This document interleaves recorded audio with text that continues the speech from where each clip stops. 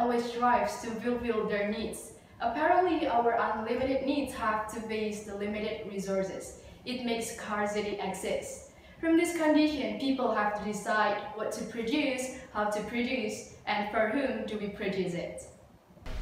Economy has come from a long journey. In the beginning of time, people hunt to stay alive.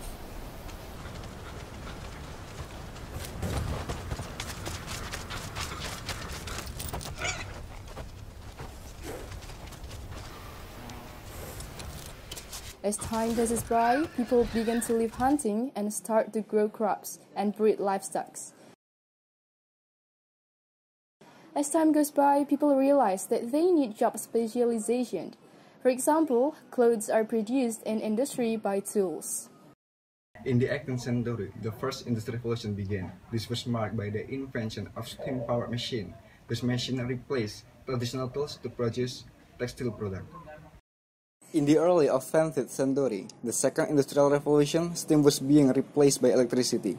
This leads to mass production of cars and assembly line, requiring laborers. The third revolution industry resulted in automated production using electronics and IT.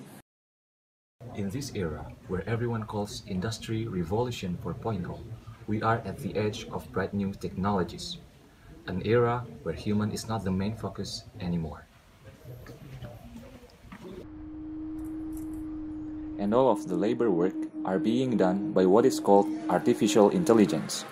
On another hand, human beings are controlling the AI behind the curtain, programming and maintaining the process of the AI. Industry 4.0 is the era of digitalization. This affects human life in many ways, especially in the economic sector.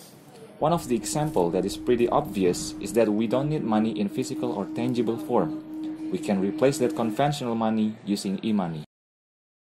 In this modern and fast world, Industry 4.0 also creates new system where we can buy something with just a single click on the internet. There are a lot of e-commerce such as Alibaba, Amazon, and Tokopedia. We don't need to go to shopping mall, wasting our times and energy. Indonesia is also becoming a part of this Industry 4.0. There are a lot of online-based companies such as Gojek, Shopee, Bukalapak, and other stuff. Those millennial companies start to become part of youngsters' lifestyle that can be separated from daily basis. This industry that is rapidly growing forces us to be more prepared for these changes. Are we ready yet? We want to be part of these changes? It is our choices.